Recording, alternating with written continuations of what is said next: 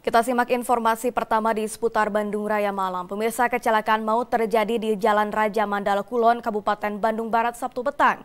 Kecelakaan lalu lintas tersebut melibatkan satu unit bus jurusan Bandung Sukabumi, satu unit mobil serta motor metik.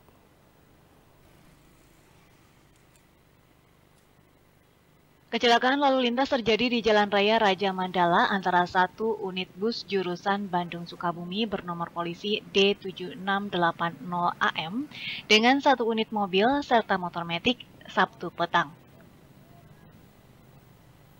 Menurut Kanit Lantas Polsek Cipatat, Ibtu Nurmawan, kejadian bermula saat bus dari arah Padalarang menuju Cianjur menghindari satu unit motor dengan pengendara bernama Bayu Maruto.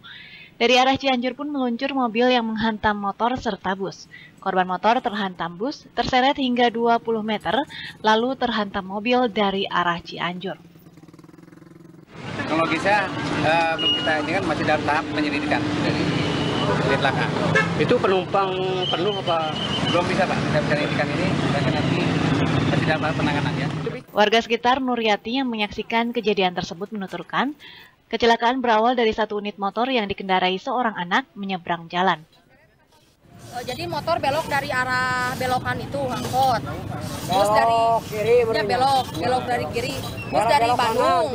Toyota Yaris dari Cianjur. Setelah bus sempat ngerem, motor itu belok, bus tancap gas.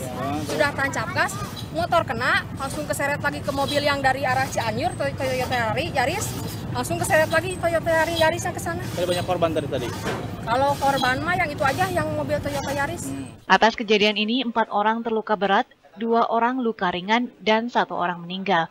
Korban yang terluka dibawa ke Rumah Sakit Hasan Sadikin dan Puskesmas Raja Mandala. Sedangkan korban meninggal dibawa ke rumah duka. Algi Muhammad Gifari, Bandung TV.